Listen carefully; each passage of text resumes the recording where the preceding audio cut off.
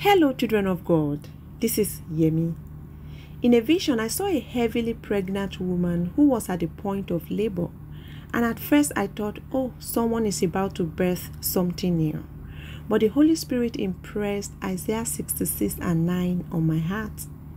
Isaiah 66 and 9 says this Do I bring to the moment of birth and not give delivery? says the Lord. Do I close up the womb when I bring to delivery? says your God. Literally, God is asking, Do I begin a work and not go through with it? God is saying to you today that He will not just get you halfway, He will complete what He started in your life. The good works that He has started that seems to you like it's taking forever, He will complete. He will perfect everything that concerns you. You are the work of His hands. He will not abandon you. He will not leave you nor forsake you.